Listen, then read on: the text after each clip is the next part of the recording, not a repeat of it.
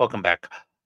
Today is something a little different. It is still from Robert Whiting's Japan, which is robertwhiting.substack.com.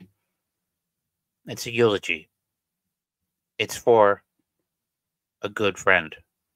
The title is Rest in Peace, George Rose. Translator for Hideki Irabu and former New York Yankees executive. It was published August 29th, 2023. Um, before I do start, I'm going to give my own two cents. And this is for me.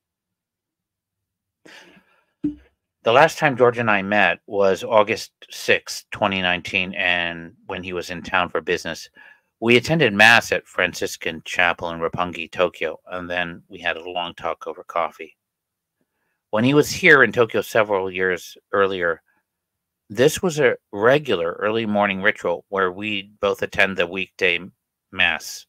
Some days we'd get up extra early to do the volunteer rice ball distribution in Shibuya, Tokyo. It was a time when I was probably at my worst, and George was, as always, at his best.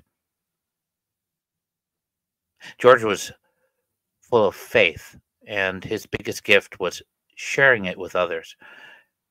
George got me through confirmation, and I was so very lucky to have him as my godfather. George was a good, good person, a sincerely good person, and a friend.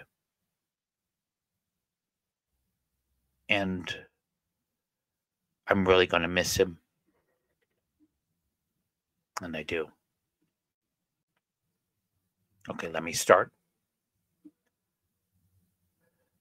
Tokyo, I learned with sadness of the passing of George Rose, a longtime New York Yankees executive and Far East representative and interpreter for Hideki Irabu during the pitcher's stormy years with the Yankees. George passed away on August 27th at his home in Yardley, Pennsylvania, at the age of 57. He'd been suffering from inoperable lung cancer and was survived by his wife, Carrie, son Sean, brother Mike, sister Kathleen, and their respective families. Kind, warm, and humble. George was unfailingly gracious and always a welcome presence to those around him, said the New York Yankees in a statement released to the media. He jumped into his baseball career with no prior experience and quickly became a key staff member on our 1998 and 1999 championship teams. In subsequent years, he was a driving force in building out our operations in Japan, utilizing an incredible ability to facilitate cross cultural understanding. George was also a man of great faith and the rare person about whom no one could say a bad word. He will be deeply missed by his friends and colleagues at both the Yankees and Yomiuri, and by all who had the privilege of spending time with him. The Yankees offer their heartfelt condolences to his wife, Carrie, son, Sean, and George's entire extended family.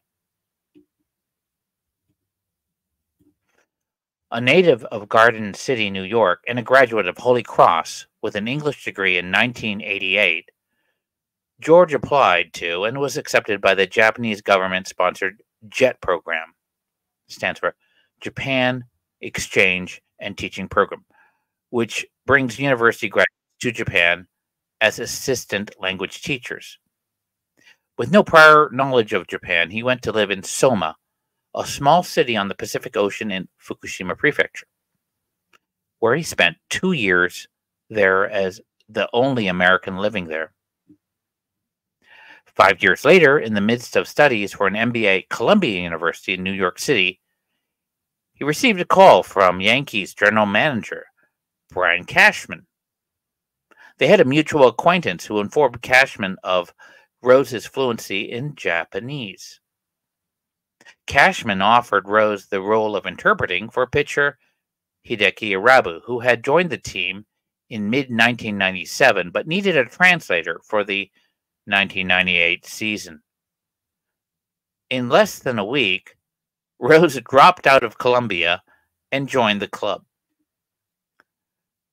Rose and Irabu established a great relationship through the up and downs of their of Irabu's career.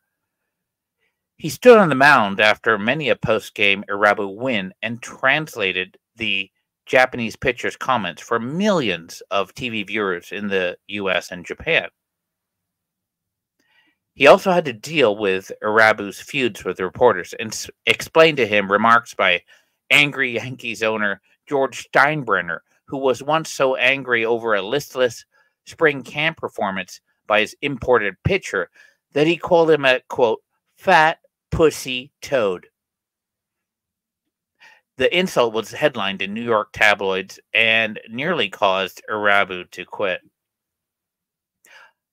Through Irabu's turbulent career, the two more formed such a bond that an appreciative Irabu paid off Rose's remaining college loans. After Irabu was traded to the Montreal Expos in December of 1999, Rose finished his MBA at Columbia and worked on Wall Street. Despite having another full time job, he remained informally involved with the club, including translating for Hideki Matsui at his introductory press conference in 2003. In 2007, Rose was asked to become the Yankees director of Pacific Rim operations, opening a business office in Japan to engage companies in sponsorships for the team and the new Yankee Stadium, while also coordinating baseball scouting operations in Japan. After spending approximately three years in Japan, Rose moved back to the United States and entered into an advisory role with both the Yankees and Yomiuri, which operates the Giants baseball team and the Yomiuri Shimbun newspaper. During that time, Rose was at the forefront of the Yankees' relationships with Japanese business and sponsorship partners and was deeply involved in the process that led to the acquisition of Masahiro Tanaka in 2014. Rose remain, uh, maintained his advisory roles with the Yankees and Yomiuri until his passing. Said Peter Daniel Miller, a renowned Kamakura based artist who worked with the MLB PA, which is MLB Players Association in Japan, and is also the son of famed MLB union boss Marvin Miller quote, George Rose was a gentleman and a scholar. In an industry with no shortage of oversized egos, he worked quietly and diligently and had enough self confidence to be modest about his real accomplishments, which were many. I recall his telling me about how he came to work for the Yankees, relating his storied career with no fanfare.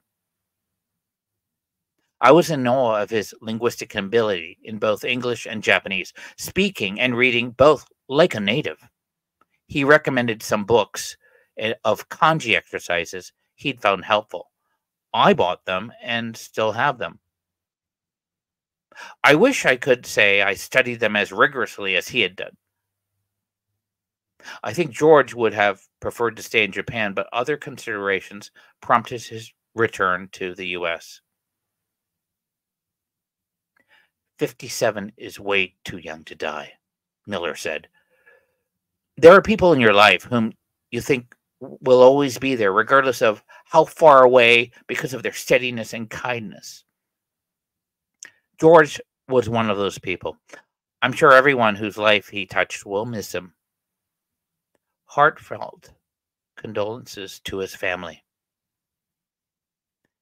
Added Eddie Mears, who worked with George as a young employee of Dentsu Advertising in New York starting in 2009 on a number of sponsorship and broadcast matters involving the Yankees and managing the broadcast rights for MLB in the Japanese market.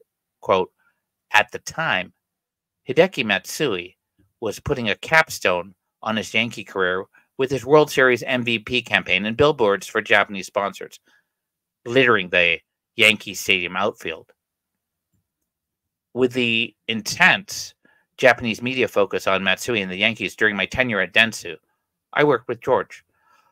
Although I was a baseball business neophyte, George could not have been more gracious and patient in our interactions and was a great mentor to me as I got my footing in the cutthroat world of sports business. We also had common background as alumnus of the JET program, and I enjoyed sharing JET war stories with him and hearing about his time on the program in Fukushima, where he was part of one of the program's first cohorts in 1989, even being so lucky to fly business class to Tokyo on the Japanese government's dime.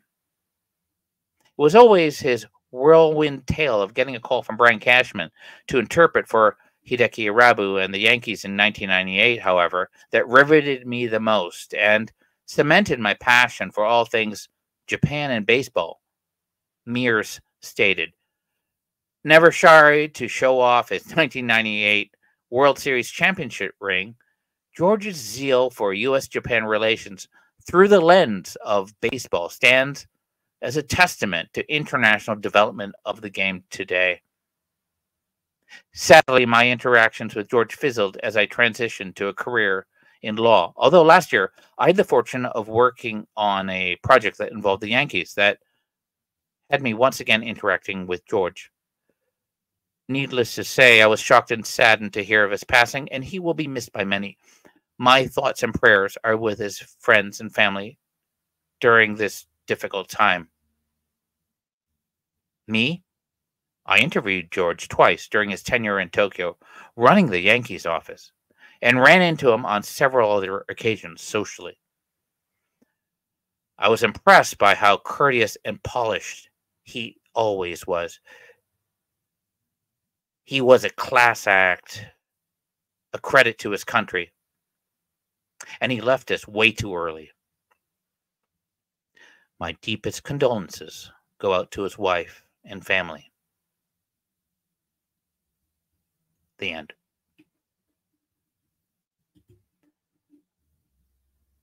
Um, if you like that, um, please um, like, subscribe. If you do have any requests from um, Bob Whiting's many, many articles on Substack, uh, just put them in the comments and I'll do my best to um, to fulfill them. Thank you.